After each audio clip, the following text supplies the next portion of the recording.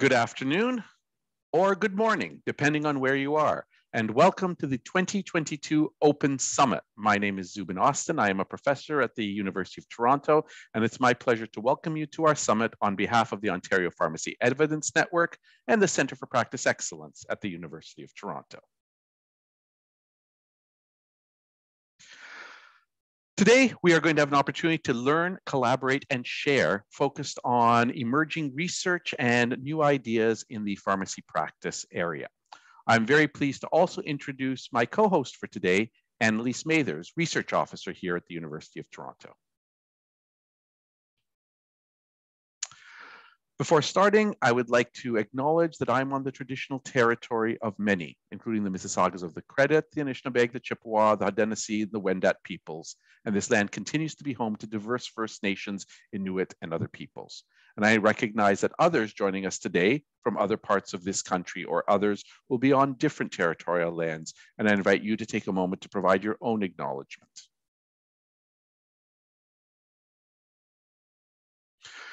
As you're likely aware, the Ontario Pharmacy Evidence Network is a team of multidisciplinary research. We work together to evaluate the quality, outcomes, and value of medication management services that pharmacists and other healthcare professionals provide. And as part of our commitment to our diverse communities, we foster knowledge translation and exchange in order to build capacity in this area. Today's event, our annual Open Summit, is part of that knowledge translation and exchange.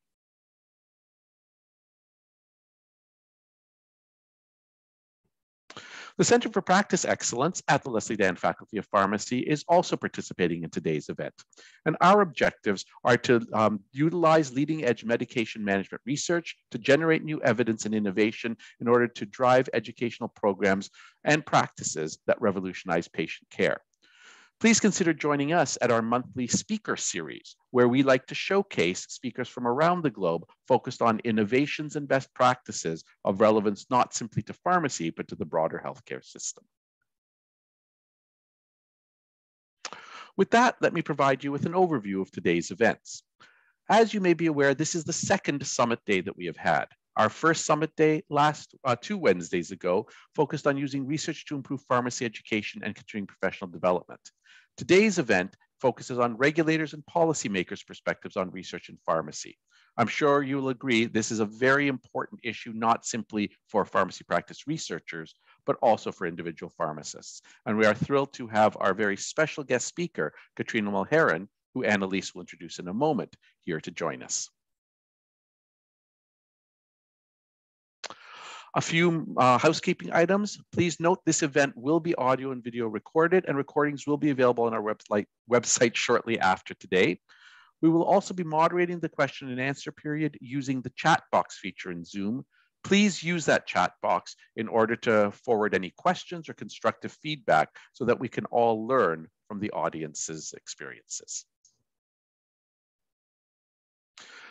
Now, the aim of this summit is to disseminate and share knowledge generated through diverse research practices. We do ask that all of our participants recognize that some of the research being presented is still in progress and refrain from sharing specific results and data in, um, that we are presenting today through social media. With that, let me turn it over to my colleague Annalise Mathers to introduce our keynote speaker. Thank you again for joining us and enjoy the rest of today's summit. Over to you, Annalise. Thank you so much, Zubin. And I will just let Katrina get up her slides as I um, provide an introduction for her. Um, so Katrina is joining us today. She is a pharmacist and deputy registrar for the New Brunswick College of Pharmacists, where she pulls from her prior experiences in clinical, academic, and consultant roles. Her research interests include the impact of multimedia in qualitative research, examining the relationship between practitioners and their practice and transformative learning.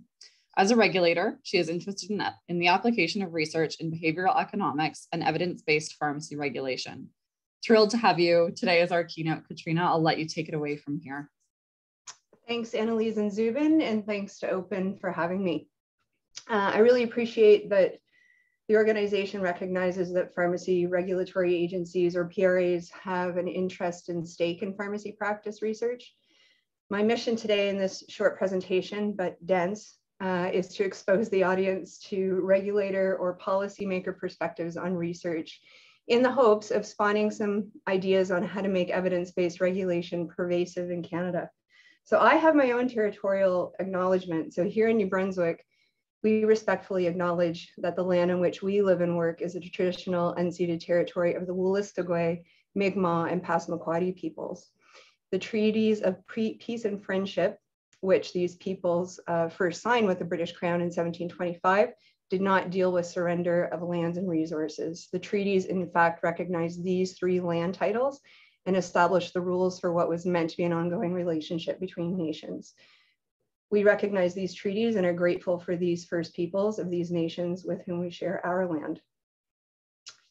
So on to my image metaphor. Um, it's not just simply a tourism ad for New Brunswick. This, this is Fundy National Park, which is in, in the south of the province. And I took this in 2020 uh, in the late summer and it's a stream bed.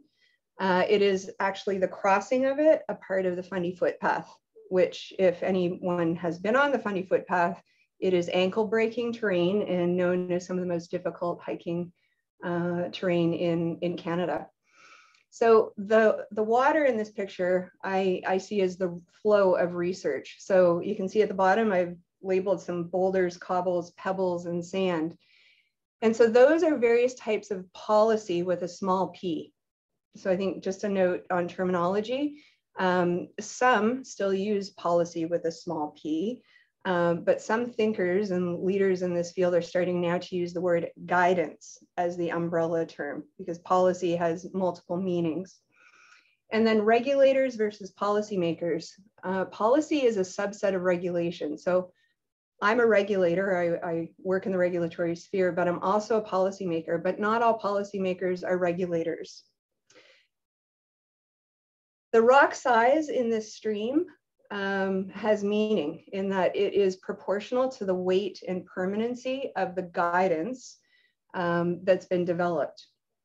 So research, your work, can exert force on these rocks in some cases to wear them down, change the surface, refine the policy.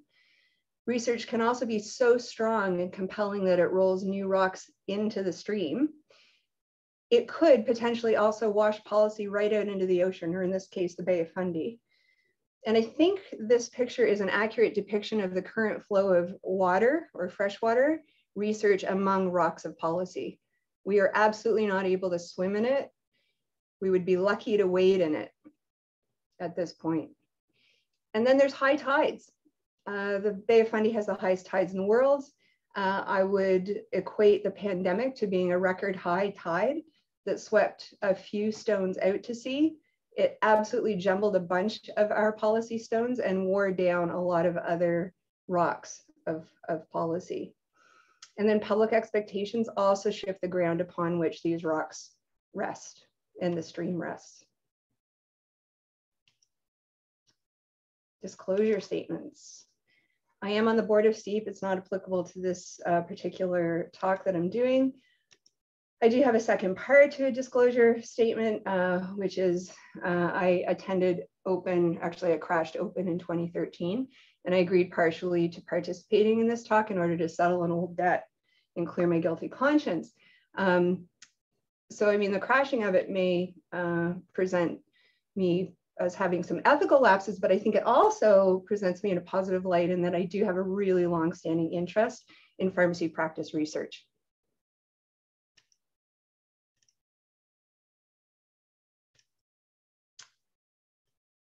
Okay, some provocative questions. Um, my presentation isn't going to answer most of these questions, um, but I think they're really important questions for uh, this audience to be asking themselves. And as I run through them, if there's one that really sparks interest, um, perhaps make a note of it. And I think when we go into the small groups, uh, perhaps it'll be a nice opportunity for you to bring up the question that speaks to you, and maybe you can bandy it about a bit. Uh, the first, does regulation improve patient outcomes? Are regulators obliged to use research? Third question, how can regulators identify relevant research? Should regulators fund or perform their own research? What research do regulators need or want? what motivates researchers to consider uh, regulatory relevancy? And then finally, how can journals be encouraged to present research that is relevant to regulators?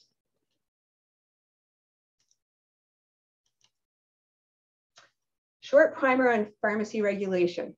I think for people who haven't worked in regulation, it's a bit of a black box. Uh, regulation in Canada is achieved at a provincial level with some national influence. Uh, in particular, Health Canada and NAPRA, or the National Association of Pharmacy Regulatory Authorities, uh, would be the two big sort of national bodies uh, that we would look to regarding policymaking.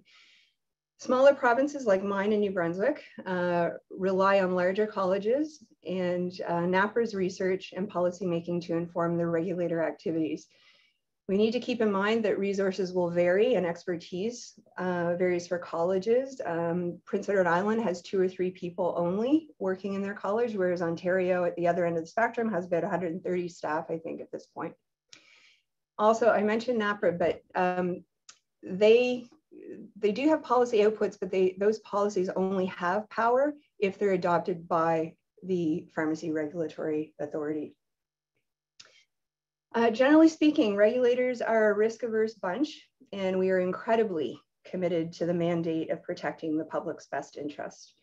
We are also very sensitive to public opinion and perception. Now, as I run through uh, the different activities that, that we do and how they intersect with, uh, with research, um, I think it's important to realize that all colleges, regardless of their size, have these similar departments. So quick overview, categories of regulatory activities, and um, you should be aware that all of these categories do, can, and should use evidence. And regulators are making efforts to use evidence in regulation and policy as a subset of regulation. Okay, the first category, professional competency. Um, the registration function would lie within this department. Um, so broadly speaking, we are interested in making sure that new practitioners are ready for practice when they enter the profession. We are uh, interested in monitoring for ongoing competence, and we uh, institute remediation when professionals fall below the expected standard. Uh, we have a presentation coming up today on adverse drug reporting and pharmacists knowledge skill and behaviors that relate to that. So that type of research would fit into this type of into this particular category. And then i'll also mention that two weeks ago with uh, kyle wilby he did some if you haven't seen that presentation he's got some really great points on education intersecting with practice research which i also thought were quite um, insightful with respect to this function of uh, regulation right uh, regulators uh, second category uh, is complaints and discipline, or conduct, as, as they call it in Ontario. Um, there's some research that can could be really helpful here in terms of the analysis of regulator process. Um, legal professionals tend to be the ones that look at legal precedent, but there's no reason why pharmacy practice researchers couldn't look at that as well. And then uh, looking at non-compliance uh, and error outcomes. And there's a shout out to Ailing Foong, who's doing some great work right now in Canada, um, looking at error outcomes and how that uh, translates into complaints and discipline uh, challenges. Uh, so the research here, although maybe at first glance it doesn't look like pharmacy practice, um, this is where the disasters or the, the situations that don't um, meet standard filter down to. So I would argue actually that it does have impact on pharmacy practice uh, because the work or the research that could come out of this would inform upstream efforts to try and prevent these things from happening again. Um, external researchers, I would say, are challenged to access complaints and discipline data uh, because of privacy laws and, and uh, legislation, um, but it's not impossible. It takes time, diligence, and probably some pretty in-depth data sharing agreements. Quality slash compliance monitoring. Um, we're interested in outcome measurement uh, in order to identify new problems. Uh, we are in regulations starting to look at a couple of different types of endpoints for quality monitoring. We've got, we're really good at looking at surrogate end, endpoints such as compliance with the policies that we've released. And we use site visits, uh, practitioner declarations, and surveys uh, as tools for surrogate endpoints. We are now just starting to see more work being done around publicly relevant or significant endpoints. So key performance indicators, there was a lot of really great work done around that um, through CSHP and KPIs. It's probably six, seven years ago. Um, and at this presentation today, we're going to uh, hear more about some work that OCP is doing on quality indicators with a community focused, um, a community focus. And then uh, medication incident reporting rates uh, and prevention activities. Um, those would be arguably significant endpoints that are relevant to the public. And we have a presentation on persuasive system design principles coming up um, that would fit with this uh, regulatory activity. Okay, um, now pharmacy practice guidance. Um, I've left this to the end because I think this is arguably uh, where the greatest meat and potential lies for synergy with uh, pharmacy practice researchers. Uh, so the um, PRAs, pharmacy regulatory authorities, we develop, refine, and retire regulatory guidance. And we do that and should do more of it based on, on evidence. Um, so research, I'm going to go through a, a few subcategories of, of practice guidance, but research has the ability to impact on any of these subcategories. And we have a presentation coming up from Nova Scotia on the impact of changes to, I'm not sure if it was legislation or policy, and I'm sure they'll tell us, uh, whereby they made a regulatory change to allow pharmacists to prescribe and then did the research to understand the outcomes of their intervention. Okay, first type of guidance, and it's at the top for a reason, the Code of Ethics. Uh, these are all provincially authored, and it used to be considered a most solid Boulder-like conceptual guidance that would only be reviewed every decade or so. So bioethical principles remain immutable, but the values of patients and practitioners are becoming ever more fluid. And so we're starting to, to realize that these uh, longstanding documents are probably better amended every three to four years. We don't see a lot of pharmacy practice research to date in this uh, realm of policy work that directly applies to codes of ethics. I would surmise maybe it's because ethics are notoriously slippery concepts, they're really hard to study and probably require unique skill set shouldn't dissuade anyone from considering some work in the code, code of ethics realm, but, uh, but we haven't seen a lot of it thus far. Legislation, for sure some boulders here. Uh, there are acts uh, that are provincial and federal, um, and these are rarely open for amendments. They're often uh, unchanged for decades, and they are designed to stand up over time. On the other hand, the fourth bullet point, which is provincial pharmacy regulations or bylaws or rules, those are essentially all the same thing. It just depends on where you are, what they're called.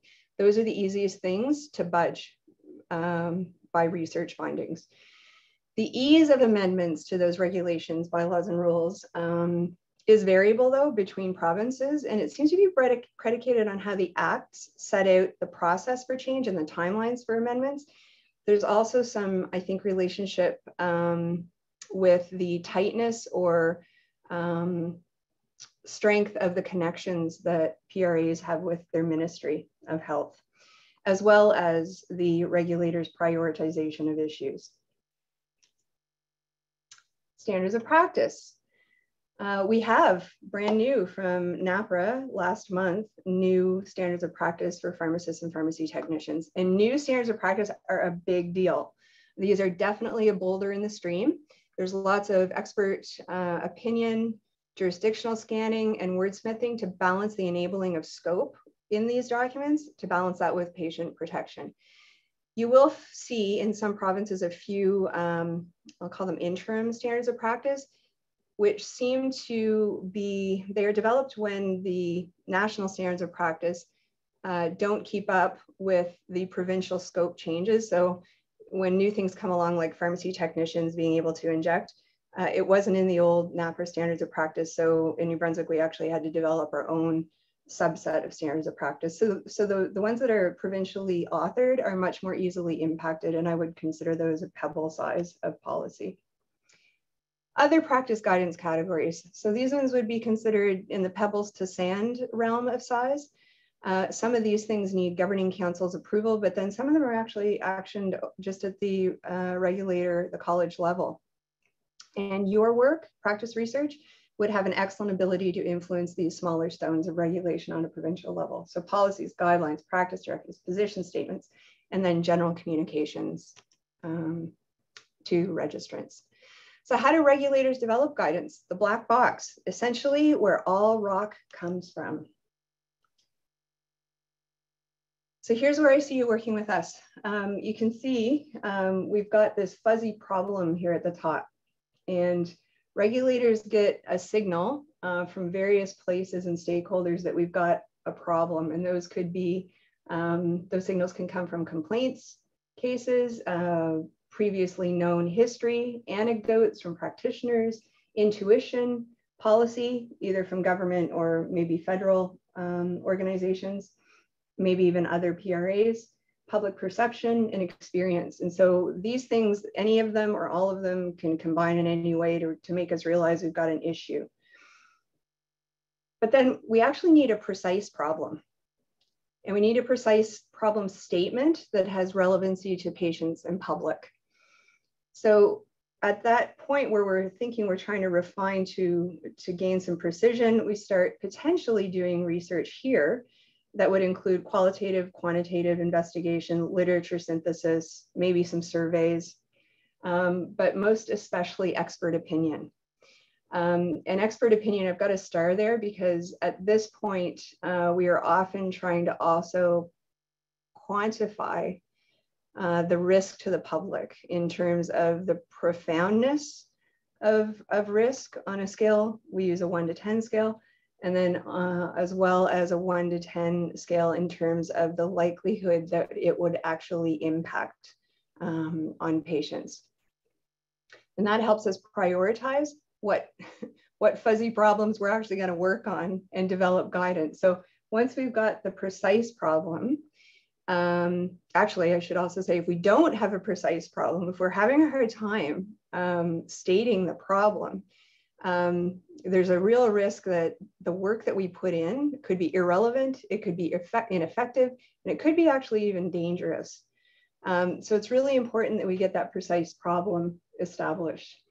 Once we've got that, there's another node for potential research where we start doing environmental scans to see what other people or sorry, other regulatory agencies have done um, to look at literature uh, to see what's described there, as well as maybe even some qualitative work uh, before we determine what guidance, in this case, that's the picture of the rock, uh, we're actually going to author here. So once we've authored the guidance, there's yet a third node of research that's possible um, and that should, that should occur at some predetermined stage where we look at the outcome of the release of this guidance.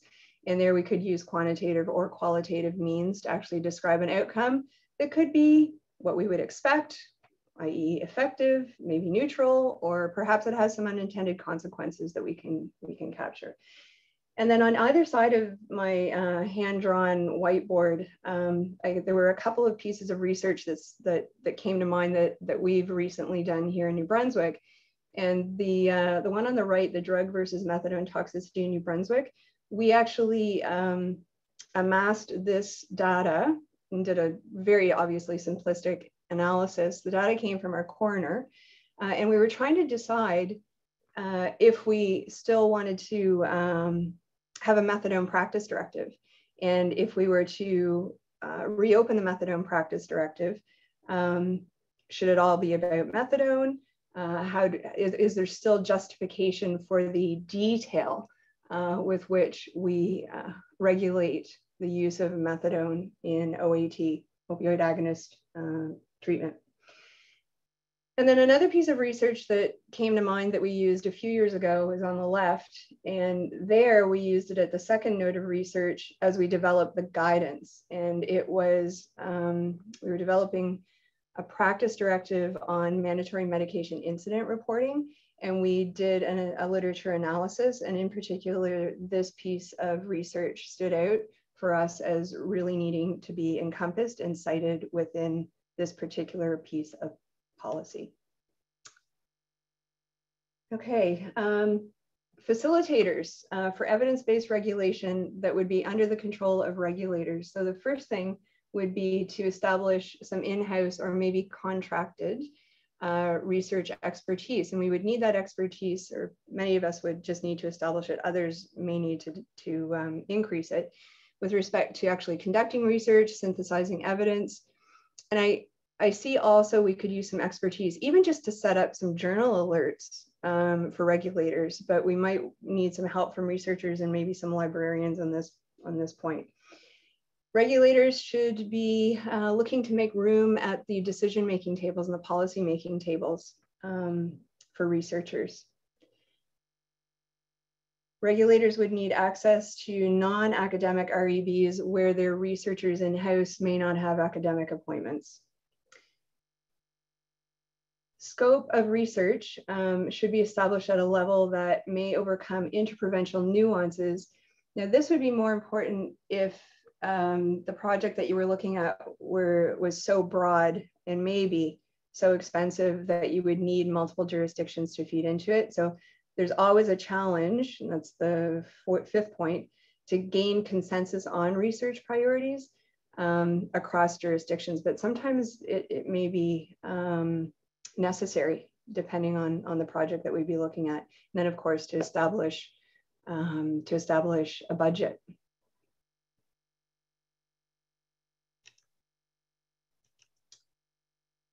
Facilitators for evidence-based regulation, what would be under the uh, control or influence of the researcher? Uh, to publish in a location uh, that regulators look would be important and that we can gain access. To establish your own catalog of data sources, because we recognize uh, in regulation there's such a disparate set of data sources. And this is just a short list. Um, some of them you're probably aware of, some of them may be new to you, and in particular, the last one, the Pan-Canadian Health Data Strategy, I think that's even brand new since uh, COVID, the pandemic. So that, that is an emanation out of the pandemic. And if you haven't uh, made yourself familiar with it, I think um, it's in that germination phase um, right now, but I, I, you can you can find online at, on the Health Canada website a lot of information about this new organization. Uh, just a note about registrant data, I put it up there, um, but there's a caveat in that privacy policies and legislation within each province may make accessing college registrant data challenging. It's not impossible, but it's challenging.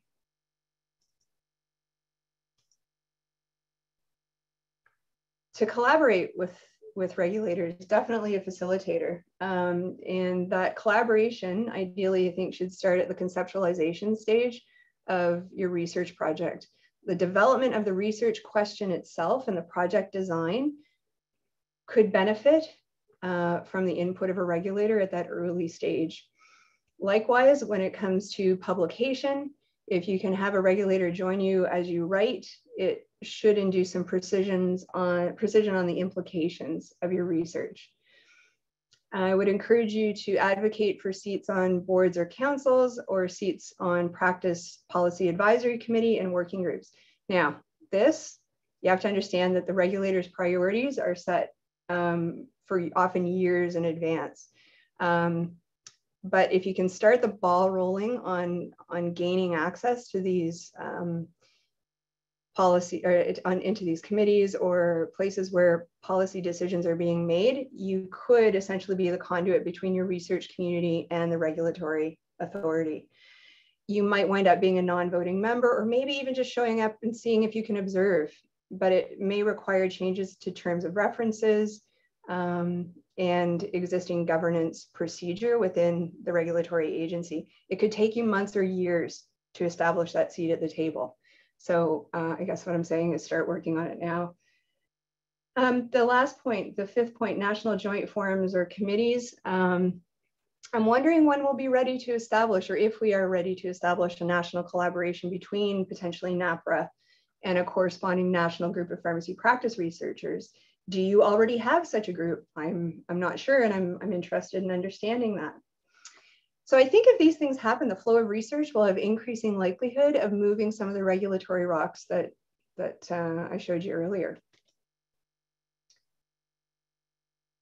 And ideally, your, your research uh, will be more relevant, it will be uh, more feasible, it'll have greater reach, we'll be able to implement it, and it'll have a greater impact.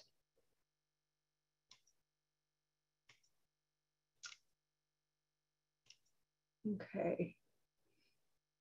Um, we would need to, we would, you would need to identify uh, interested funding sources. And it's not just regulators. Uh, think about Health Canada, provincial governments, third-party payers.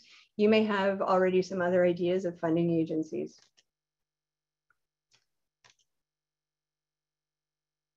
I think we need to negotiate some, or researchers need to negotiate some tensions between what the regulator needs and priorities are, um, what funding agency interests are, what journal or editor requirements for publication are.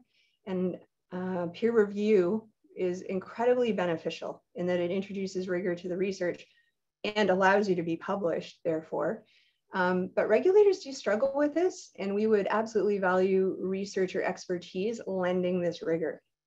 And then the fourth point, the researcher curiosity. Um, I think that brings me back to one of the initial questions, which was what motivation do researchers have to consider regulatory relevancy?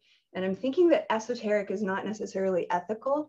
And as I was reading last night, um, I don't know if you've heard of this book, Braiding Sweetgrass by Robin Wall Kimmerer. She's a Potawatomi First Nations um, person. And she says, This is our work to discover what we can give.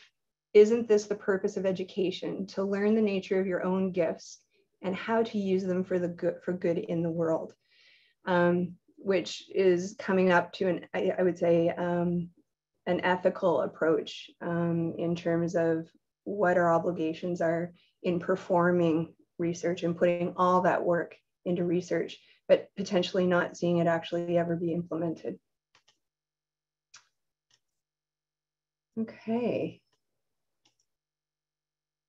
right? I'm going to speed through some resources, um, things that you, places and organizations you may not be aware of. There's an American National Association of Boards of Pharmacy. They have a research page, really interesting. Um, if you want to go have a look there and see what some American researchers are doing. This is my favorite by far, the Professional Standards Authority out of the UK.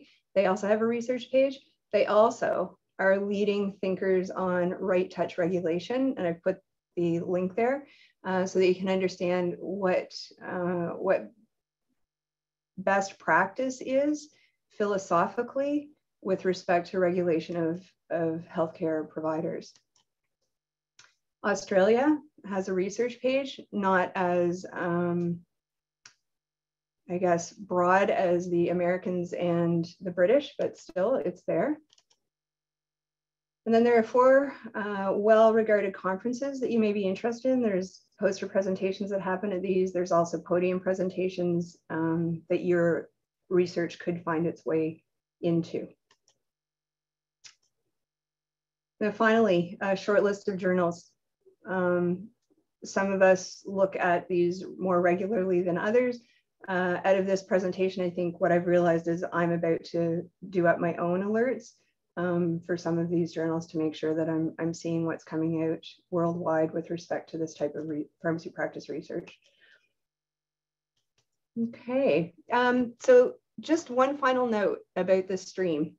Um, as of last year, it was published that Atlantic salmon are actually starting to come up this, this river again to spawn. And the conditions have been improving incrementally uh, for these fish. So it's a hopeful situation, but it's still delicate that will need the commitment of stakeholders to ensure a reliable flow of water and the other conditions other than the water are maintained. Similarly, stakeholders will need to commit to a long-term vision of evidence-based regulation in order to establish a healthy stream of compelling pharmacy practice research. And with that, I'll conclude. I'm looking forward to hearing from today's researcher presenters, and I think we might have a couple minutes for, for any questions if there are any.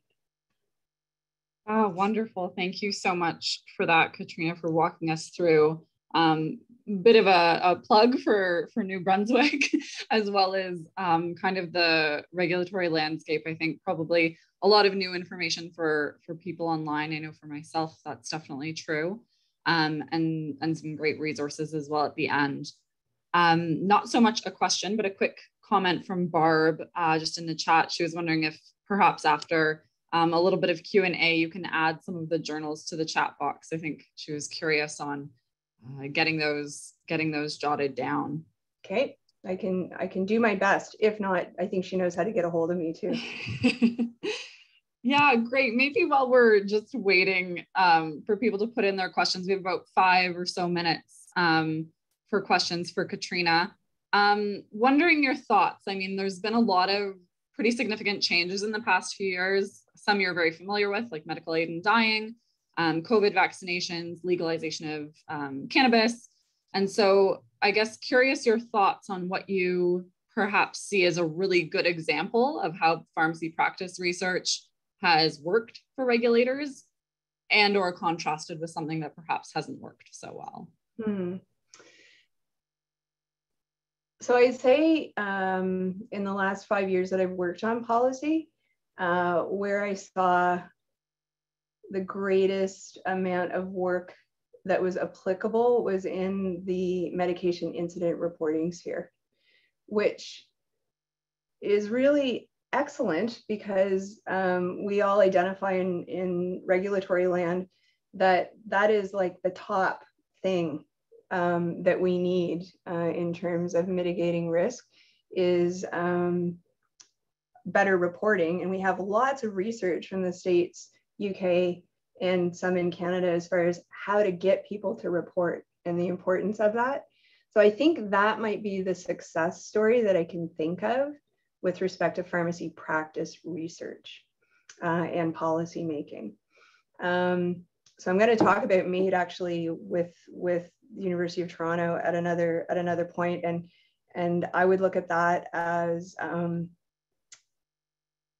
huh, that that that one was a really hard one to do because um, we actually had no data and, and very little research, at least in Canada. We had some out of, out of Europe, but very little pharmacy practice data before that legislation was changed at the federal level. So we were really working in the dark um, and trying to anticipate what the risks would be. So I guess you know those are sort of two contrasting, but every every policy that we try and make is so unique um, in terms of um, you know where it is in, in, in terms of the arc of development. Is this a, a de novo development or a de novo problem? Or is this an old problem that we've had a solution to for years, but just isn't working anymore? Great. Thank you so much for that. A few questions have come in, so I'll try and get to those um, and carry us along. Um, from Derek, thanks for the great presentation, Katrina. When it comes to outcome measurements, do you or outcomes measurement, do you find that pharmacy practice researchers tend to select endpoints that allow PRAs to adequately assess impact on protection of the public?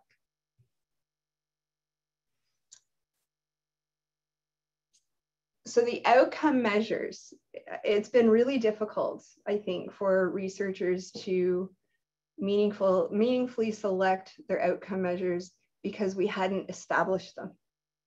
So it's sort of like the chicken or the egg. And when Open first started, um, I think what I saw as being beneficial from this uh, this this work that the organization was doing was that through all of the research, we would actually now be able to use evidence to establish what the outcome indicators should be. So are we? I think we're getting to a critical mass now where um, and with with you know if we look at the kpis that's that's already been established but within the community context i think now we may be at a point where we can actually start to compile this research and understand what the common themes of um, of quality outcomes are. So i think uh, to answer maybe derek's question is that it's getting better. Um, and now I would say we almost need to synthesize the existing research and walk away from the, the, the publications with uh, an overall listing or catalog of meaningful outcome measures. Great, thank you for that. Um, last comment that perhaps you'd also like to comment on in the chat box is from Greg. Um, great presentation. I would emphasize the need for research around practice ethics for two reasons. The scope of ethical dilemmas in health are likely to increase, and many of and many of the practice deficiencies of pharmacy team members re kind of the ethically inclined. I, that that is so true, and you know a lot of the uh, policy that regulators author and and the programs that we've implemented, if if practitioners understood how to use um, ethics skillfully uh, and developed um, competency with ethics, I would argue that we actually wouldn't need a lot of what we have in terms of legislation, policy, um, and standards of practice. So it, it is germinal. It is just abs. I, yeah, I can't stress enough how important the work is around codes of ethics and ethical um, behaviors. Wonderful. Well, um, thank you so much, Katrina. If anyone else online has other questions and or um, the journal titles, I'll let I'll let that, those conversations continue in the chat box. But on behalf of of the Open Steering Committee and myself, thank you so much um, for such an insightful presentation. Thank you. I'll now um, turn us over to uh, the beginning of our research presentations for today. So we have a nice lineup of four research presentations that will take place before our small group sharing rooms. Um, the first research presentation today is from Anisa and Karin.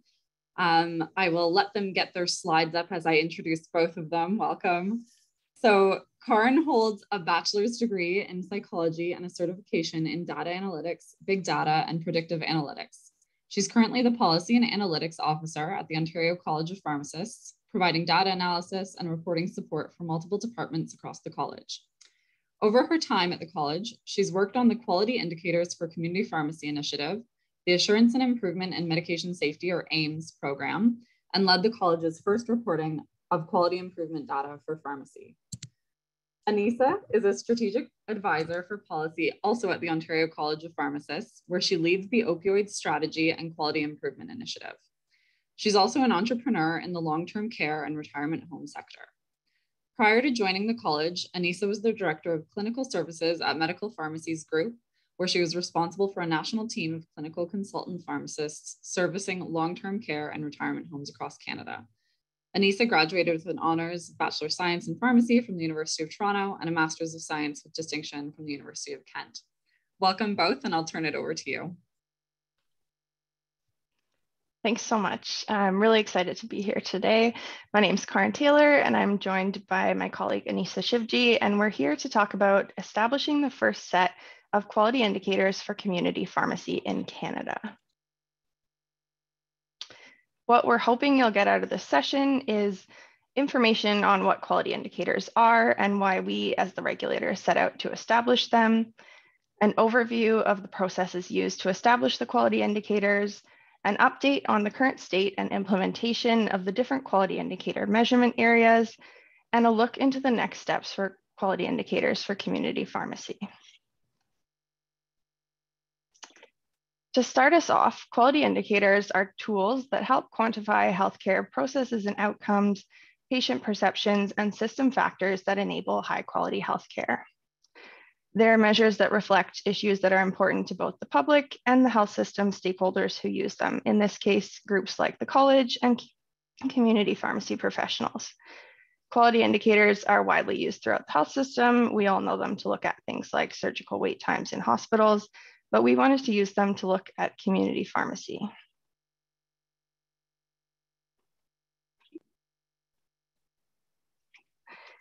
At the time of starting this work, quality indicators weren't something to our knowledge that other regulatory colleges had established. We knew that a standard set of quality indicators would allow us to measure pharmacy care and its impact on patient and health system outcomes across the province in a consistent way. As the regulator responsible for protecting and serving the public, measurement for the purposes of quality improve improvement, and knowing that these indicators will ultimately help us understand and improve pharmacy care is very in line with our mandate. Additionally, this type of measurement and the public reporting element of the quality indicators was aligned with our commitment to transparency as a college. We knew that this was important work to bring this type of measurement to community pharmacy and that we needed to get it right. This is why we partnered, partnered with the expert on quality indicators for the province, Ontario Health, for the initial indicator selection process. This indicator selection process began back in 2018 with a stakeholder roundtable where patient and caregiver experience, appropriateness of dispensed medications, medication related hospital visits, transitions of care, and provider experience were identified as priority areas for measurement. The measurement areas were then brought to an expert panel who were tasked with selecting a small set of quality indicators. The indicators you'll see today are derived from 300 plus indicator candidates found through a literature scan and selected using a modified Delphi process, which consisted of a series of consensus meetings and independent surveys. Feeding into the final decision making were a series of patient and sector engagement activities, including stakeholder meetings and webinars, and consultation surveys targeting both patients specifically, as well as the pharmacy sector and public more broadly. This ultimately led to the selection of seven quality indicators across four of the measurement areas and the recommendation to continue review and discussion of the fifth measurement area, which was provider experience. Since 2019, there's been progress on data collection and reporting and moving the provider experience measurement area forward. I'm going to pass it over to Anisa to talk about work since the indicator selection process and what's next for quality indicators. Great, thanks, Karin. So I just wanted to highlight where we are with each of the measurement areas that Karin identified. So with regards to the appropriateness of dispensed medications, um, medication-related hospital visits, and transitions of care, the data for these measurement areas was obtained from available administrative data sets. And so public reporting um, of data trends is available currently on the college website with regards to the measurement area of patient caregiver experience, or what we refer to as PREMS, patient reported experience measures, we're currently in the process of engaging various stakeholders to really try and understand the operational intricacies around each of the patient recruitment tools, as well as data collection methods before we proceed with one set data collection and patient recruitment method. Once we have determined um, with our conversations with various stakeholders a way forward, we will be piloting potential patient recruitment and data collection methods and um, looking at the results of this pilot before spreading to all the pharmacies in Ontario. With regards to the provider experience and engagement measurement area, we're currently in the process of data collection and analysis of the themes. So the provider experience and engagement measurement area was one identified as important to measure by the expert panel um, because there is that link to quality and outcomes. You may be familiar with the quadruple aim framework, which does reflect the importance of provider satisfaction. So in this case, the provider would be the pharmacy professional in optimizing patient outcomes and overall health system performance. So as Karin mentioned, for the other four measurement areas, the work was led by an expert panel, but for this measurement area in particular, the process was led by a working group comprised primarily of pharmacy professionals. It was a similar iterative process with consensus meeting, and the, the working group was fed over 200 consultation sur survey responses received from pharmacy professionals. With regards to where we are with this measurement area, the indicators were established in December of 2021 and presented to the board. And data collection began with the January 2022 registrant annual renewal, where anonymous data collection took place. And we're currently in the process of looking at the various themes that have stemmed from this data collection. So this is a summary slide of all of the quality indicators that were established, both by the expert panel as well as by the working group. And if you'd like more information on these or more details, we have provided links at the end of this presentation. Um, but we just thought it would be important to highlight these indicators and in terms of how they're currently publicly reported today. So if you look at the next slide, you'll see this is how the public reporting is currently taking place on the college website. So again, it's important to highlight that there's no access to pharmacy specific data. The way that the data is reported is through aggregate trends. Even when the data is collected, it's anonymous. Um, and the reason for that is because the goal for these indicators is not to be punitive or performance. It's really to, to drive quality improvement in the, in the sector and encourage public transparency. So for instance, if you look at the high dose opioid incidence indicator, it's really for pharmacy professionals to reflect back on their own um, experience and their own practice, work with their teams to really try and understand uh, how do they evaluate appropriateness of dispensed medications, for, for instance, when it comes to opioid high dose incidents, what tools and resources are available. And these conversations are also had with during the assessments team um, when an assessment takes place at the pharmacy. There is a conversation about various tools and resources available to help drive quality improvement with these indicators. So in terms of next steps for this work, um, really we want to try and increase the awareness of these indicators and the goals for these indicators compared to um, a lot of the other indicators in the health system and what resources are available to, to the sector to really encourage and drive this quality improvement in community pharmacy. As I mentioned, in terms of the provider experience indicator measurement area, we're currently in the process of data collection. So we will be looking at taking a look at these, these themes that have been derived from the data collection, analyzing them and exploring some of the contributing factors. So for instance, you know, if high level of pharmacy professionals report burnout, what are the contributing factors to those levels of burnout? So really working together with stakeholders to trying to understand those factors and improve the pharmacy professional experience. Taking a look at the PREMS indicators and the best way forward in terms of how to capture that patient experience data in community pharmacy.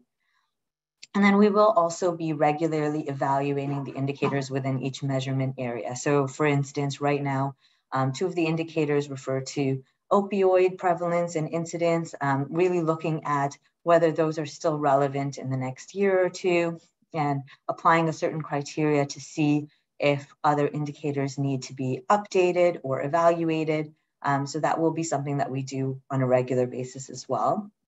And lastly, you may have noticed that these indicators are very community centric. And the reason that community pharmacy was chosen as an initial focus was because there were indicators really already present in um, a variety of other sectors in pharmacy practice. So for instance, in long-term care, as well as in hospital pharmacy. So really starting with um, where there was the most pertinent gap in community pharmacy, but we will be exploring expanding to, to other practice environments beyond community pharmacy. So these are some links that we've included. Um, for more information, uh, you can also reach out to us if you have any more uh, questions or would like further information. So the first is really highlighting the quality indicators for pharmacy um, initiative as a whole. The second is the summary report for the quality indicators, which um, was an output from the expert panel. The third is around this data reporting tool and how um, the public views the, the aggregate trends for the currently available administrative data sets. And the last is really an article in the Pharmacy Connection highlighting the role of provider experience and why this measurement area was important for the indicators initiative. So now I'll just pass it over to Annalise if there's any questions for myself or Karin. Thanks. Great. Thank you both so much for that. Um, I'll also maybe encourage both of you to put those those resources into the chat after um, after a few questions, but I'll get right into those. From Anne, how are these quality indicators different from the quality assurance program that was instituted several years ago? Is it is the the evolution of the previous one or something different? so that's a really good question. Um, I think in terms of these indicators in particular, the main focus, as opposed to it being quality assurance and performance, was really around trying to drive quality improvement and public transparency. So, really, from the get go, they had differing goals. So, in terms of looking at even uh, aggregate data trends as opposed to individualized performance metrics, that's really where the majority of the, the differences came in. Great, thank you so much. And then I'll also ask a question from Andrea in the chat. Are there any patient reported outcome measures versus experience measures being contemplated at this time?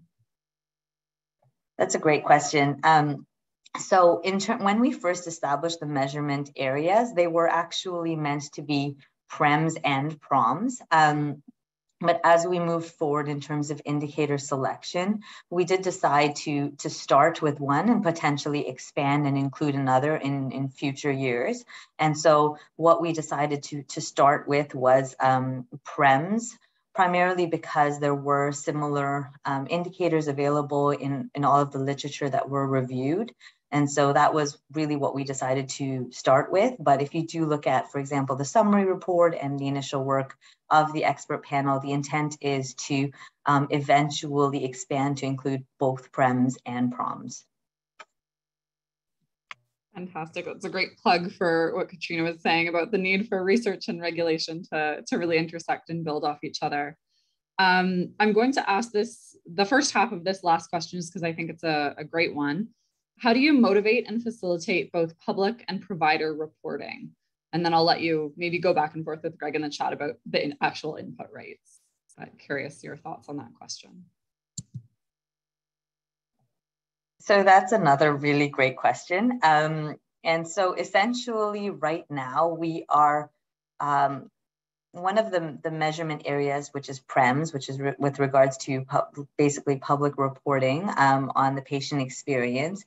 We are currently in the process of still having those conversations with stakeholders because um, we really want to try and maximize the response rate. So really, um, to your point, Greg, how do we motivate patients to respond to, for example, an experience survey um, when you know there's other organizations or other health systems that are also trying to get them to fill out their experience survey. So really, how do we stand out? How do we capture that patient data? And that's really um, the discussions that we're having with um, the operational leaders in community pharmacy to try and understand um, what that looks like, what response rates have been in the past, and also um, having those discussions with patients in terms of, okay, um, how do you spend that time when you're waiting for your, for example, prescription to be filled?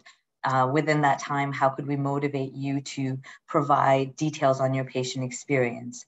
With regards to um, provider experience reporting, that's another great question. So we're currently in the data collection phase of that.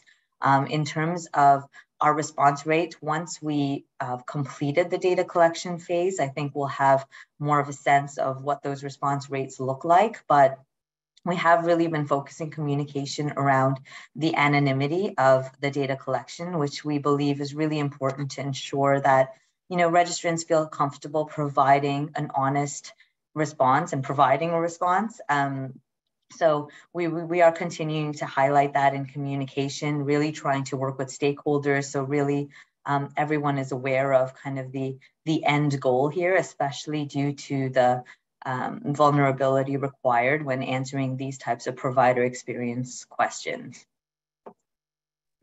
Yeah, thank you for your thoughts on that, Anisa. I think a really important question and probably one that you think about quite often at the college. Um, so thank you. Thank you, Karin. Thank you, Anisa, for your presentation. Um, I'll let communication happen in the chat as we carry on. Um, but I'd like to introduce Dr. Shanna Trenaman next. Uh, Shanna, I'll let you get your slides up on the screen. Um, Shanna is a hospital pharmacist and a postdoctoral fellow with geriatric medicine research at the Department of Medicine Dalhousie, at Dalhousie University. Dr. Trenaman is a clinician scientist who studies appropriate drug use in older adults from the perspectives of pharmacology, epidemiology, pharmacoepidemiology, and health services research. Thanks, Shanna. I'll let you take it away.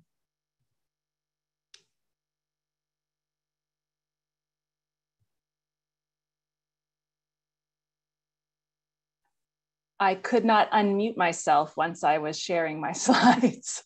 Um, I will put them back up. I think this will work right quickly now. There we go. Uh, I'm excited to be here today. Um, and I'll just let you know I am presenting from my home in Halifax, Nova Scotia, which is the unceded territory of the Mi'kmaq people. Um, here I live and work on the land of the Peace and Friendship Treaty. We are all treaty people.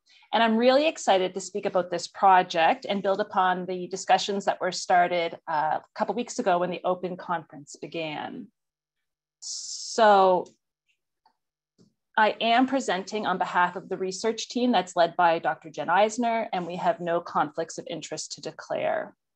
And we were interested in understanding how the prescribing activities of pharmacists in Nova Scotia um, and how those prescribing activities changed over time. Uh, it seems here in Nova Scotia that pharmacists were first given the legislated authority to prescribe in 2011, uh, and that was prescribing within a limited capacity. But since that time, the legislation has evolved and it continues to evolve. And at the time of evaluation of our study, pharmacists in Nova Scotia could prescribe within seven loose categories. So six categories of pharmacist prescribing services are shown here. Uh, first, we have prescribing for an approved indication or condition.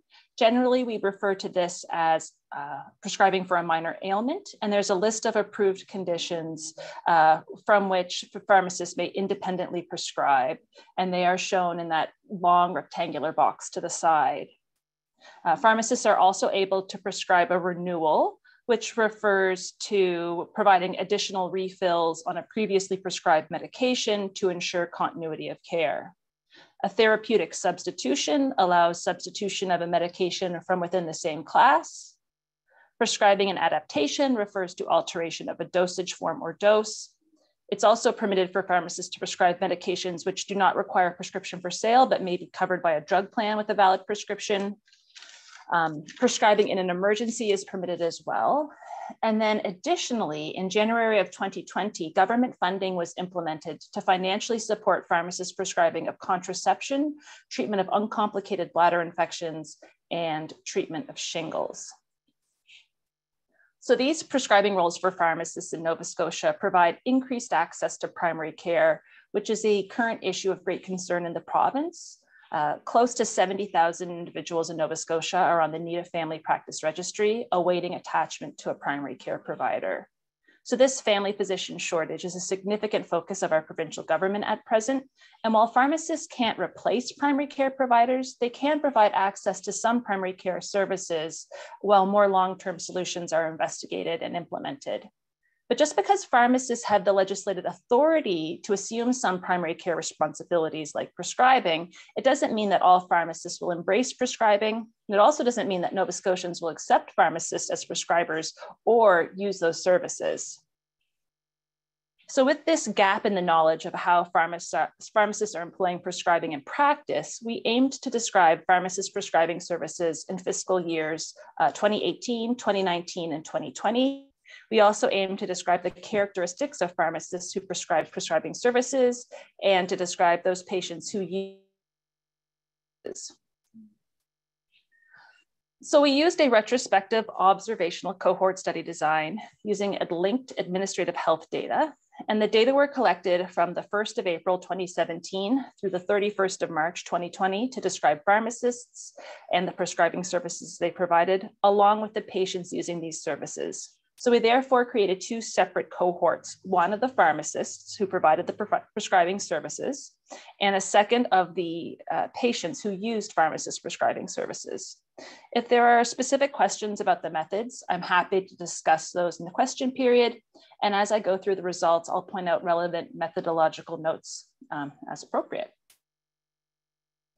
So we found that 80% of the approximately 1,300 pharmacists in Nova Scotia had prescribed over the period of study, with the number of pharmacist prescribers increasing each year.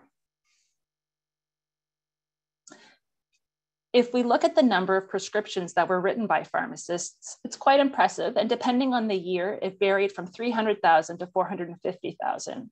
Um, that sort of corresponds to a mean of 21 prescriptions being written each month by each prescribing pharmacist in 2018, which increased to 29 in fiscal year 2020. Overall, this kind of corresponds to a mean number of prescriptions in 2018 at um, 261 prescribed by each pharmacist who prescribed, and that increased to 347 in 2020. So that's an increase of nearly 100 prescriptions a year over those three years, um, which probably corresponds to about two extra pharmacist prescriptions in a week we considered rurality of the pharmacists based on the second digit of the postal code of those pharmacist prescribers. And we found that pharmacists licensed in rural areas prescribed more than pharmacists in urban areas, which was a statistically significant difference. Patterns of family physician shortage generally demonstrate reduced access in rural areas, which is consistent with increased pharmacist prescribing in rural areas and may show that pharmacist prescribing services are being accessed to fill gaps in primary care. Undoubtedly, the prescriptions we captured as pharmacists prescribing varied with respect to category. However, current administrative health data collection is unable to allow us to distinguish between these categories. That said, we collected the DINs of the medications associated with each indication as listed here in the figure. So this um, includes the three government funded indications, which are starred in the graph. And then the list of the DINs was created using a list of all potential appropriate treatments for each condition by a pharmacist. And then the list of identified DINs of the actual prescribed drugs was applied to those pharmacist prescribed medications um, that we captured. So to, to identify the most likely distribution of pharmac pharmacists prescribing by indication. Um, I think that's clear. We looked at all the pharmacists prescribed medications. We looked at these conditions. We came up with all of the potential treatments for these conditions and then sort of cross-referenced to see how it, um, how it looked. Um, treatments for GERD were the most frequently prescribed and treatments for herpes simplex the least frequent. And there are lots of ideas to be untangled here in this figure. Um, and I'm going to share a few of mine. But before I talk about sort of the specific indications, I want to point out a couple of things. First, that the data collection period predates COVID 19, essentially. It captures the first 20 days of the pandemic. And those first 20 days of the pandemic are the last 20 days of the data collection period. I also should point out that the government funding for those three starred items was in place only for the three months of 2020, uh, which were the last three months of our data that's included in the analysis. So we can't really say what amount of pharmacists prescribing for those three items occurred before and after that change in legislation. But about the specific indications, first note that vaccines, both travel and non-travel, comprised a substantial portion of the pharmacist prescribing recorded. Second, self-limited GERD, which can be treated either with over the counter or prescription treatments, is very frequently encountered by pharmacists in community. It's likely something that they are very comfortable and experienced with. And it was quite interesting that that's the most frequent um, indication uh, prescribed for. And third, uh, contraception was frequently prescribed. Pharmacists uh, facilitated access to contraception, a medical intervention that provides benefit in terms of you know, improved education, participation in the workforce, job choice, and more to anyone with a uterus. So having this increased access to contraception likely has a very far-reaching impact. The volume of prescriptions pharmacists prescribed to each age category of patient was related to the number of patients in each age category in the patient cohort. However, the age distribution of the patient cohort was not the same as the age distribution of the provincial population. At around 35 to 49 years of age, the number of individuals accessing pharmacist prescribing service began to exceed the percent of the population, or more simply put, older adults used pharmacist prescribing services more. Examining the mean number of pharmacist prescribed medication, and that's referred to as first fills in this slide, we see that the number increases with patient age to a mean of more than four prescriptions per patient over 80 years of age over the three year period.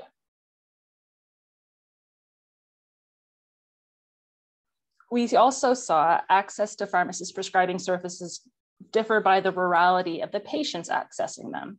We found that the number of prescriptions per patient over the period of study was higher in rural areas at 3.17 prescriptions per patient compared to 2.79 prescriptions per patient in urban areas, a statistically significant difference.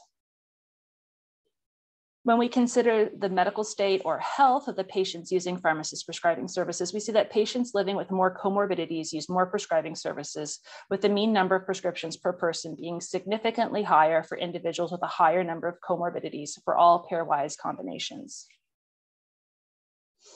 And even though there are limitations with the collected data, the analysis demonstrated that over the three year period of observation, pharmacists provided increased prescribing services each year.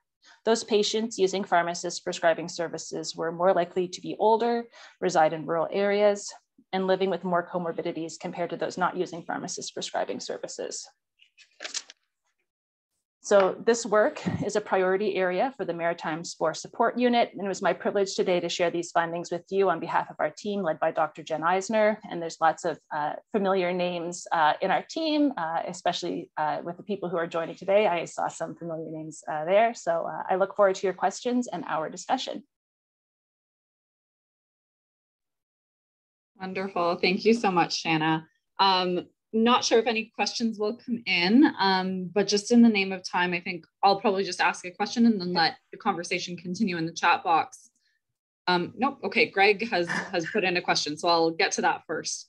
Um, did you collect any data on any deprescribing events? So we're only collecting information about pharmacists as prescribing events, and so we don't have any way to capture deprescribing events really um, with our data collection. It's also really hard to even capture deprescribing events like in regular administrative data, you'd used to be looking, I guess, for like when a prescription ends and seeing that it doesn't restart. Um, but when a pre prescription doesn't restart, you're not able to see like who's responsible for that sort of alteration in care. Um, that's the sort of thing that um, would be great to know though. And hopefully we'll see you know, administrative data being able to capture deprescribing somewhat as we sort of move forward and begin to really see the value of deprescribing um, as a part of routine care. Yeah, great. Um, thanks for that, Greg. Um, yeah, my question was just sort of at the beginning of your slide deck, um, seeing kind of the reason um, for people who need attachment to a primary care provider in Nova, um, in Nova Scotia was just curious how that might play out against other provinces. I was actually, I thought those numbers were very revealing and, and quite high in some cases. So curious if that's similar across other provinces and territories. I think that there's like family physician shortages probably across the country. I'm pretty uh, familiar with the Nova Scotia situation um, because there's a really great study being led by Dr. Emily Gard Marshall looking at attachment to family practices, um, and in particular looking at how the Need a Family Practice Registry is working here. Um, I believe she's going to be extending her study to Ontario and maybe Quebec and Nova Scotia. There's four provinces, I think, in the end that they're going to be looking at um, improving uh, attachment to family physicians. But the general story is like in Nova Scotia, it's not great. And there's a lot of recruitment happening right now to get more family physicians in the province. It's particularly problematic because, you know, we're quite rural here. And so trying to encourage, you know, new physicians to move to rural areas and take huge practices is really, um, really challenging, I think. Great. Thank you so much, Shanna. Any other questions? Um, I'll encourage people to type those into the chat box. Um, but thank you again. Um, next, I'd like to introduce Paola Gonzalez. Um, she can get her slide deck up. Thank you. Great to see you. Um, Paola is an assistant professor of management information systems at the Faculty of Management, also at Dalhousie University. She teaches and researches in the areas of IT leadership, digital innovation, and IT healthcare there. Her work has been published in peer-reviewed journals and conference proceedings in information systems and healthcare, such as journal of such as the Journal of Strategic Information Systems and the Journal of Healthcare Quality. Thanks. I'll turn it over to you. Thank you, Annalise, and uh, good afternoon, everyone. Um, I'm so glad to go after Shanna. I'm also here talking from, I'm on campus today at Dalhousie University, and as I was introduced, yes, I'm in the Faculty of Management, and I'm part of the Safe Assured Research Group, uh, together with uh, Jim Barker, who is the director, and Kumote as well. Uh, the project of this group, it's, I mean, one of the goals of this group is to ensure the reliability of community pharmacies in Canada and abroad. And we are also extending our interest in other healthcare settings. The research that I'm presenting today um, actually aligns with uh, what was discussed by Katrina at the beginning about the regulatory and, and, how we can enhance medication incidence reporting. And that's a project that I'm leading in the group and just focusing on how we can enhance that reporting using some design principles and focusing in the systems per se. So we are partnering with Pharmapod initially and Think Research, Pharmapod is, is um, one of the um, leading platforms um, when it comes to medication incidence reporting. So as an introduction, you know, we, we've seen a lot of research done in, in the consequences of medication incidents um, with patients, families, pharmacies, um, and society in general. And one way that we found, you know, it's important to collect data and as an information system researchers, that's what we usually do. You know, we, we find ways or digital systems to collect the data, but to collect, is store, and analyze the data. So medication incidence reporting was one way of creating that platform to start collecting the data. Uh, despite you know the benefits that we've seen having such a platform, we still see, based on empirical research and some um, discussion with, with practitioners in the field, that there are still barriers to report medication errors. And I was glad to see even and to report in any other aspects, right? Like quality, one of the questions from Greg in the chat, that you know some of the barriers that we see, uh, you can see it in the slide, but also um, um, just understanding a little bit about the workflow, you know, time constraint, uh, pharmacies do more than reporting, in this case, medication incidents. They have way more other responsibilities. So time constraint for sure is one of the biggest barriers here. But we also are quite um, curious to see that the lack of perceived value of such a system as well. So one of the objectives with this project is um, just to trying to identify other designed uh, guidelines, principles that can help us keep mitigating those incidents, but trying to attempt and change those negative perceptions towards medication errors, motivate pharmacists to increase that reporting and increase the usability of the systems. How we look or how we usually look into understanding how a technology or a system is embedded in organizations, it comes initially from a social technical system perspective. So you have a system that is embedded in an organization or in a social subsystem. And, and that um, embeddedness will um, ended up being on a resistance or facilitated or improving some of the practices that happen in the context. So when you see joint optimization, the, the main outcome when we embed a system, when we have a system to support certain activities, is just to bring that harmony between the two um, in order to optimize productivity, and in this case, of course, to optimize patient safety. So when we were looking at, you know, understanding how they just assessing what it's already existing in terms of medication incident reporting, we look at the already some of the guiding design principles um, from human computer interaction. And we know the administrative principles and utility principles, you see the list on the left and on the right, some examples of what we, we assess systems. They are already in place and not just medication incident reporting, but other healthcare systems. These systems are really targeting all the design principles to, to support the task. And that's the, the first thing we support the task. We are gonna uh, enhance the business practice. But something that we notice is that persuasive principles are not already there. So that was the intention. The intention was trying to use a persuasive system design model, is a framework uh, to really understand how we can you know, design strategies that can enhance, in this case, the practice of medication incident reporting. So the process of this research, you know, we assess, but then we designed and evaluate those strategies, designing prototype scenarios. We test that, and then we um, check the effectiveness of those strategies. So we are in the first stage.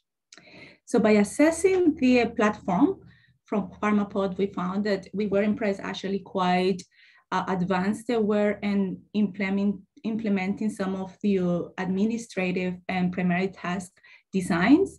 Uh, currently, they have you know 20%, um, and this is an average um, percentage that we find. And some of the design principles, persuasive design principles, were partially implemented in there.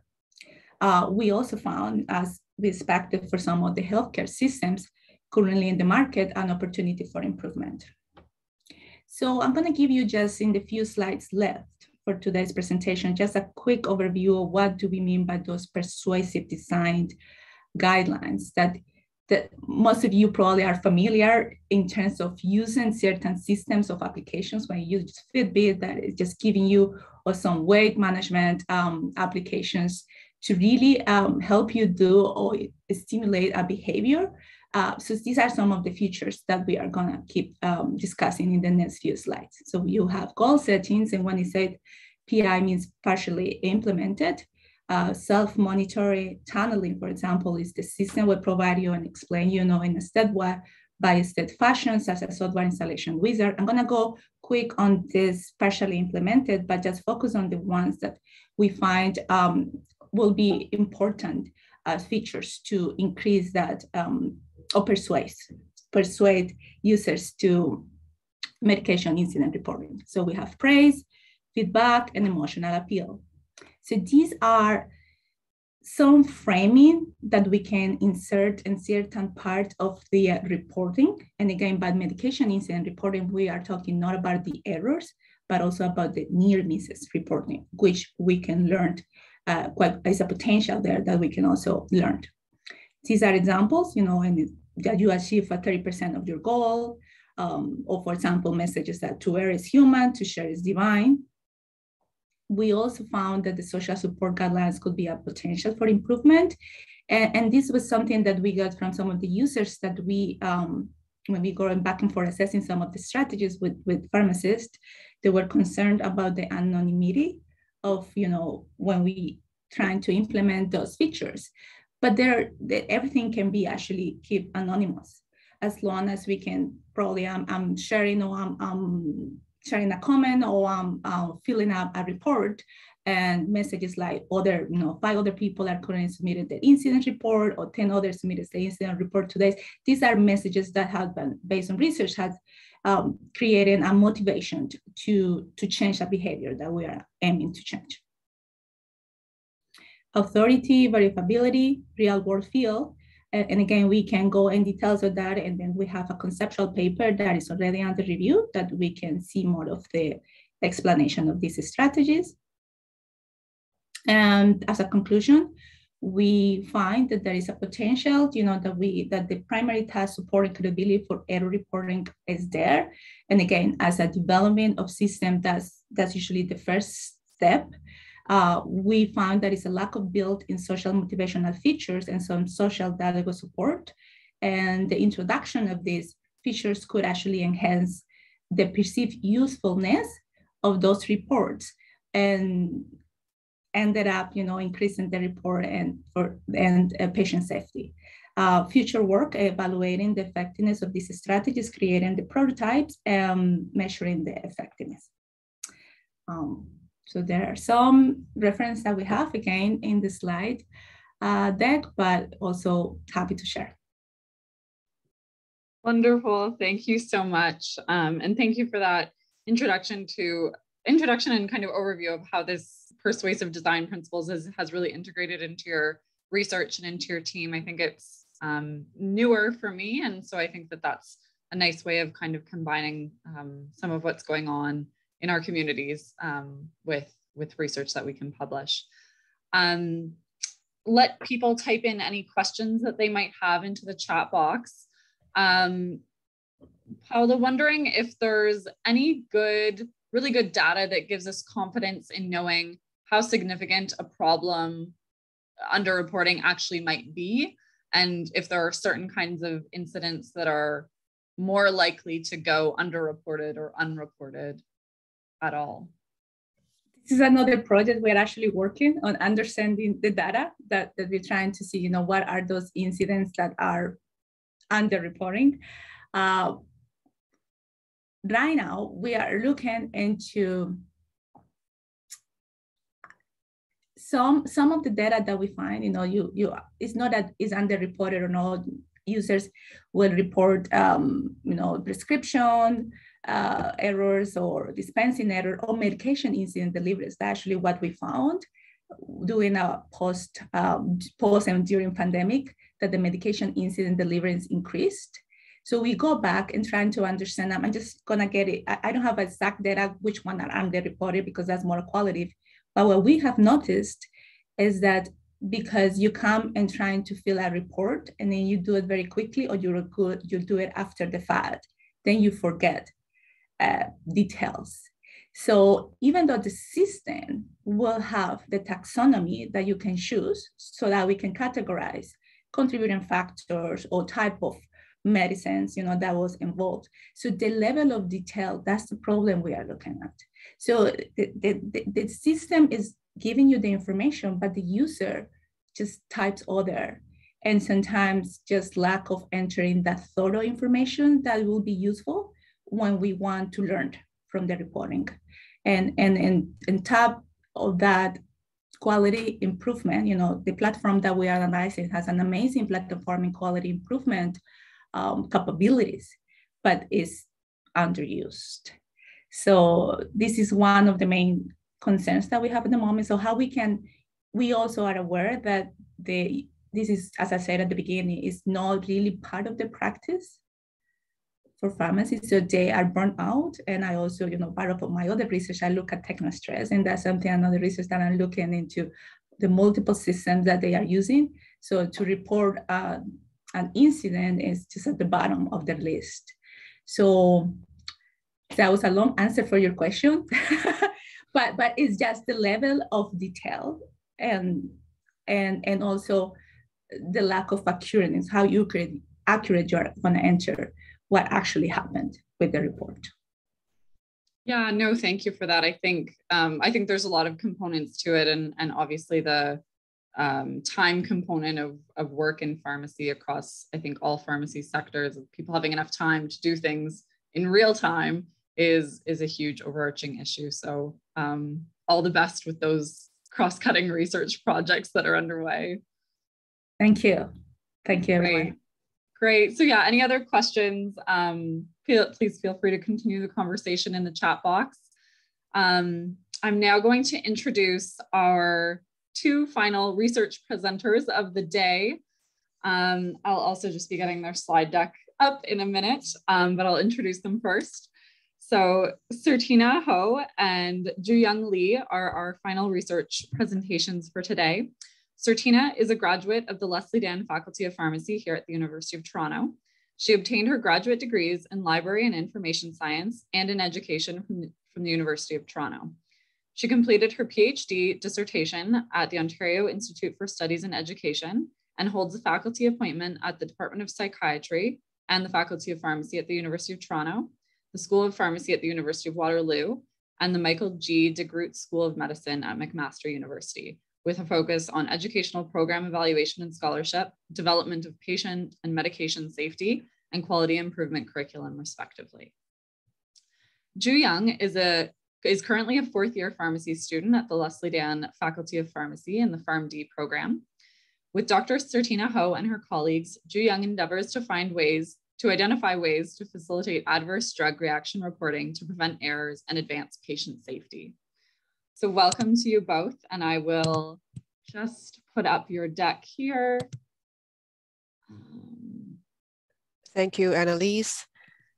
Hi everyone, I am Certina, and it's my pleasure to be here together with Joo-Young and share with you a project that was completed by Adrian Boucher as a partial fulfillment of the requirements of his industrial pharmacy residency program in 2019. I'm the faculty advisor of this project, and Adrian has given us the permission to share his work with you today. Next slide, please. Ju and I have no conflicts of interest to disclose for this presentation. Next slide, please. Um, although health and drug products are carefully tested for safety, efficacy, and quality before they are licensed, adverse drug reactions or ADRs may not become evident until the product is marketed and used by the general public. An ADR is defined as any noxious and unintended response to a drug, which occurs at doses normally used or tested for the diagnosis, treatment, or prevention of a disease or the modification of an organic function. What I'm trying to say here is ADRs typically are unpreventable, which is different from a medication incident typically. In Canada, it is estimated that 24% of hospital admissions and 12% of emergency department visits were due to drug-related adverse events, of which approximately one third are the result of ADRs. Next slide, please. In Canada, ADR reports are usually submitted by health professionals and consumers or patients on a voluntary basis, either directly to Health Canada or via market authorization holders or MAH.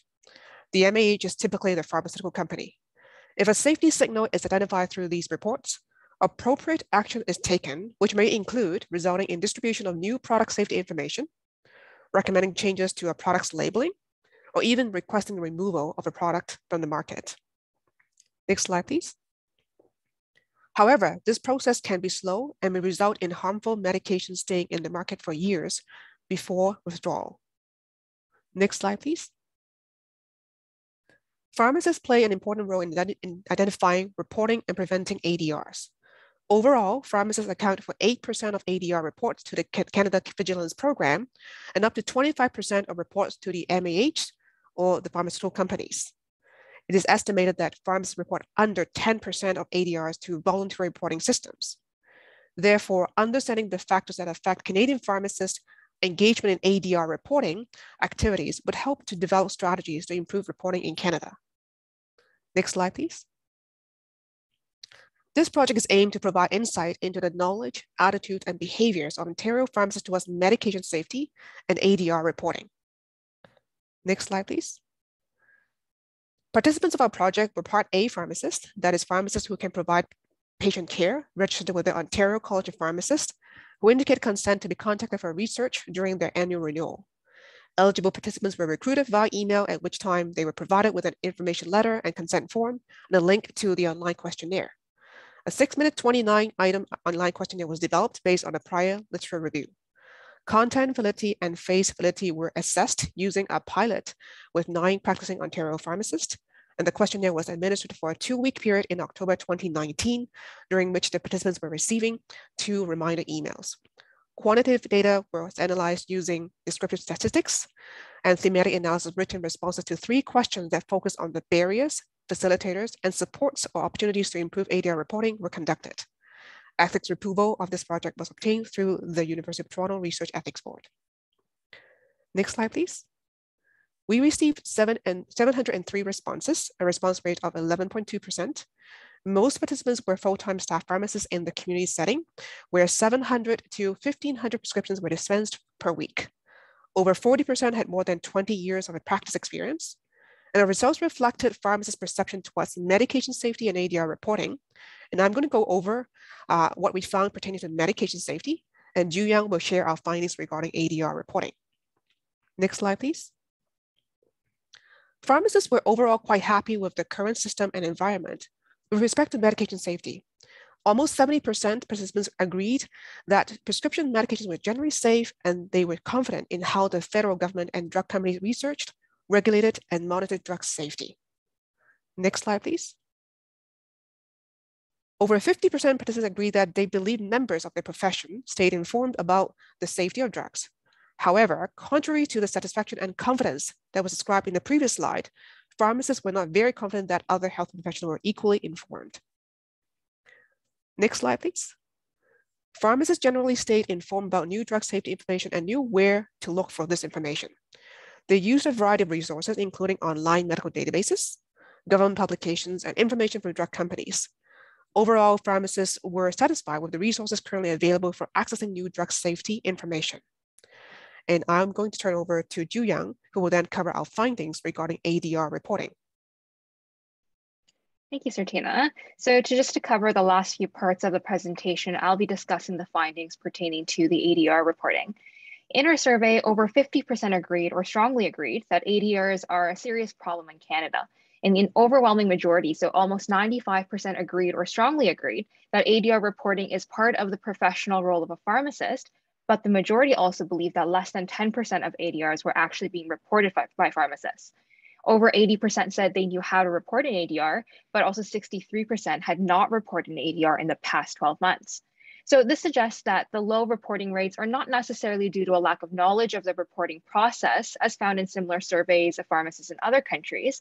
Um, however, the issue seems to really lie from other health system barriers, which were explored in our follow-up questions. Next slide, please. So with respect to who pharmacists were reporting to, the most common receivers were drug manufacturers, Health Canada, or the organization pharmacists work for. For example, the community pharmacy's corporate or head office, or even a combination of these outlets. And on average, it took around five to 30 minutes to complete a report. So next slide. So to really gain a better understanding on ADR reporting and the different factors that either negatively or positively affect ADR reporting amongst pharmacists, we asked a few questions. And the first one here is what may discourage you from reporting an ADR? The most common responses to this question were, I don't have time to report, the reaction is already well known, and I'm uncertain of the association between the reaction and the drug.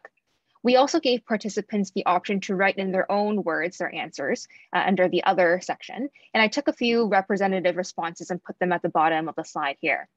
So at the end of it all, we took the both, both the quantitative and qualitative responses to analyze them, and we came up with some themes which will be shared with you near the end of the presentation. So in terms of barriers to reporting, common responses also include the lack of interprofessional collaboration and not knowing if other healthcare providers were reporting correctly or even at all. Next slide. We then asked what may encourage you to report. So facilitators for ADR reporting. And the most common responses to this question were the drug is new to the market, the reaction is life-threatening, or the reaction has not been reported in the product monograph. As well, some of the other more unique responses uh, supported these common responses, but also spoke about compensation, ease of reporting within their daily workflow, and that integration into their uh, existing software systems. And finally, the last next slide, please. We asked participants what may help pharmacists be more engaged in ADR reporting. And the most common responses here were increasing pharmacists' awareness of ADR reporting and its value in patient safety, educating pharmacists on how to report ADRs, and providing less time consuming methods for ADR reporting, for example, simplified reporting forms in addition to, again, interprofessional efforts, reimbursement for their time, and the integration of reporting into their workflow seem to be main uh, comments that arise with this question. I think it's important to note here that ADR reporting at this point is already mandatory in hospitals as per Vanessa's law uh, starting in December 16, 2019.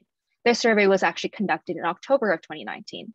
And the sur survey suggests that pharmacists don't think that this will make a huge difference in, in pharmacist engagement. As you can see, about 25.3% of participants uh, selected the option of making ADR reporting mandatory. And to speak on the educational side of things, previous studies have found limited success with educational interventions. For example, a team led by Figueiras uh, conducted a, ran a, randomized control trial to measure the effect of educational outreach visits to physicians, and they found significant improvement in the quantity and quality of ADRs, but they found that these effects returned to baseline after about a year. So it's likely that a combined intervention consisting of education, yes, but also greater integration of reporting into practitioners' workflow and providing feedback on their uh, reporting would provide a more robust and lasting effect. Next slide, please. So to tie it all in here, we took the quantitative and qualitative responses and identified common themes that shed light on the barriers, facilitators, and supports needed for ADR reporting. So as you can see, some of the common themes that came up for the barriers or what may discourage reporting ADRs consist of lack of uh, interprofessional collaboration, duplication of reporting, the fact that it was time consuming, and there was con concern about patient confidentiality. In terms of what may encourage uh, our pharmacists to report an ADR, or things like the integration of reporting into systems, financial compensation, the seriousness of the reaction, and identifying a strong association between the drug and the reaction. And finally, what may help pharmacists be more engaged or in reporting or supports again, interprofessional collaboration, uh, receiving report or feedback rather on the reporting, the integration of technology, as well as financial compensation seems to uh, be main themes that came up. And next slide. So we spoke about a few different things today, but just to kind of sum it all up, Ontario pharmacists play a key role in ADR reporting, and they are knowledgeable and engaged in medication safety, but they face significant barriers in reporting the ADRs. So to move forward, an integrative approach that encourages interprofessional collaboration, the ease of reporting via the integration of technology into systems, and sufficient human resources, whether that be financially or just having enough uh, staffing and time is necessary. And going further, further research should focus on the effect of implementing both the educational and the technological interventions on reporting rate and quality. So that kind of sums up our presentation and we'd be happy to take on any questions. Great, thank you both so much. I think that there are some questions in the chat, um, but maybe just quickly from my end, um, curious, I know Vanessa's law and, and mandating these uh, ADRs have to be reported in hospital settings. Just curious, responsibility and accountability for reporting seems to be a major issue among pharmacists, but perhaps other healthcare providers. In a hospital setting, who is actually responsible for reporting the ADR? Is it the pharmacist or is it other members of the healthcare team as well? So basically, in terms of the mandatory reporting under Vanessa's law in hospitals, so every healthcare professional has that sort of responsibility to expect to be involved and engage in the reporting. So I would say, uh, even though our study look at uh, the perception from pharmacists, but within a healthcare setting, like basically all healthcare providers have that kind of responsibility to do so. Yeah, that's helpful. Thank you, Certina. Um, lots of questions in the chat box. Um, from Kay, did you explore the idea about collaborating with a pharmacy technician colleague to support reporting? Within this study, we did not, but I think like from what the themes that you presented, you can see the interprofessional, and I think the intraprofessional collaboration between pharmacists and pharmacy technicians are really like valuable and worthwhile to explore further, because that collaboration definitely will, will be um, facilitating the more reporting of the ADRs. Fantastic. Um, from Paola, glad to see an alignment between these barriers to reporting and the opportunity to introduce persuasive features in the systems social and dialogue support features are needed. Yeah, um, definitely. Um, I see I the alignment perfectly for ADR incident reporting. Yeah, and her colleagues are, are agreeing. Um, from Suzanne Singh, are you aware of whether pharmacists or pharmacy employers have advocated with their pharmacy vendors to integrate an electronic ADR form into their electronic system, for example, Kroll or otherwise? This seems like such a basic thing to do. Uh, personally i'm not aware of but i think the potential is there because um, there are a lot of like um, um, i would say interest from pharmacists to have everything sort of seamless approach so that it's all integrated into the dispensing system whether it's Kroll or other vendors. Uh, so definitely for adr reporting or incident reporting i think those can be like considered and integrated into uh, the dispensing system which basically we have to use it for any single particular prescription processing.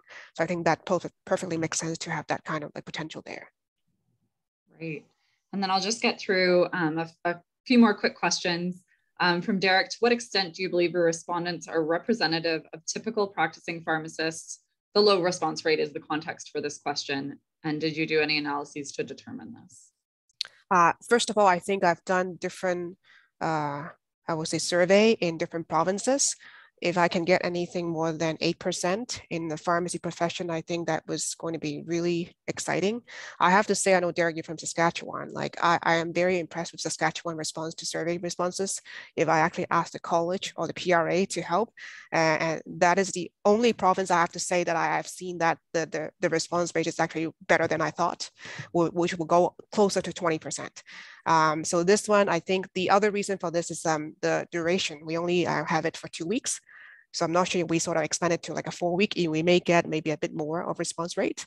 But in terms of the uh, representation, like if you look at uh, majority of them are community pharmacists, um, most of them have over 20 years of practice in experience. I think that to some extent there is some representative there.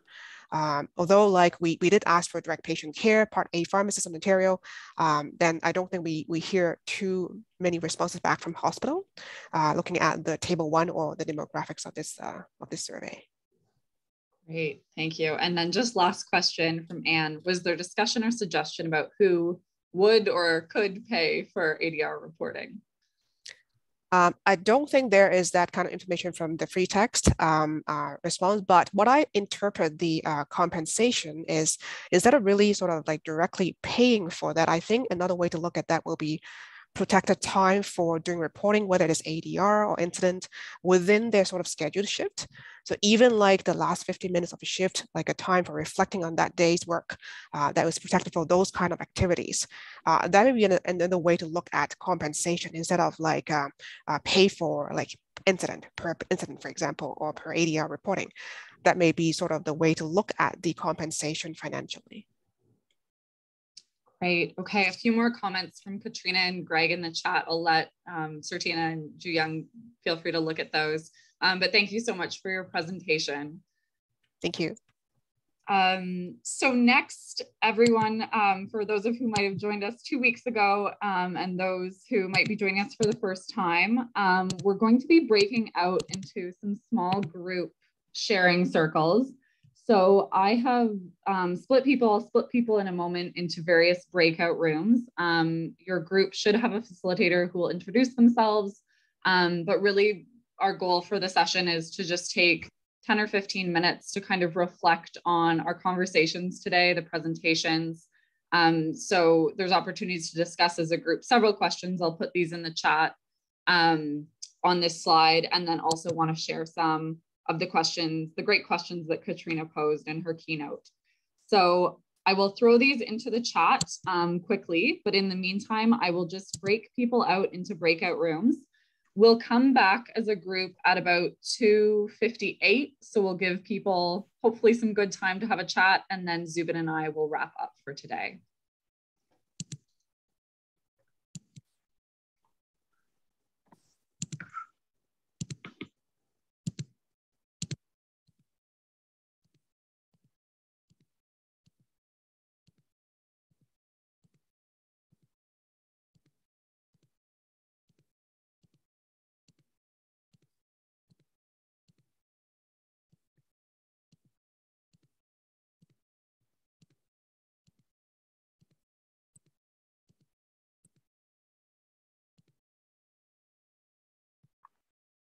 Great. So I can see we have people trickling back in slowly from the breakout rooms. So just give people another 20 seconds or so to come in from those, but hope that the discussion went well in, in some of those small group sessions.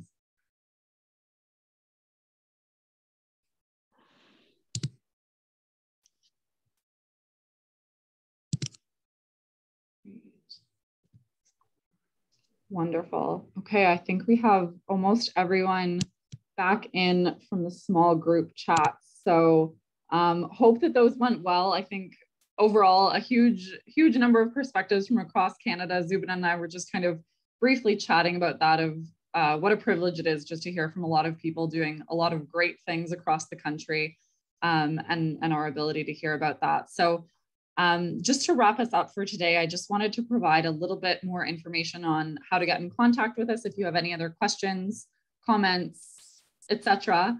Um, so more information on OPEN, the Ontario Pharmacy Evidence Network.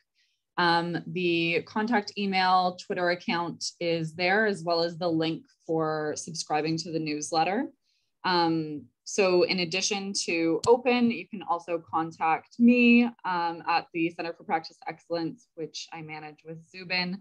You can also join our mailing list and hear more about events like this, as well as our monthly speaker series, like Zubin mentioned at the beginning of our event today.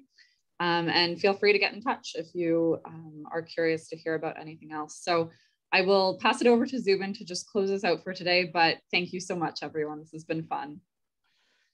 First and foremost, thank you very much, Annalise, for all of your work in organizing today's session. All of us know what a job it is to organize these kinds of sessions, and Annalise does it with such an effortless aplomb. It is sincerely appreciated, as is your attendance today and your active contributions. Please join us at our next open symposium in a couple of weeks, and we look forward to seeing you at other activities run through the Centre for Practice Excellence or the Ontario Pharmacy Evidence Network. Thank you for joining us today, and see you soon.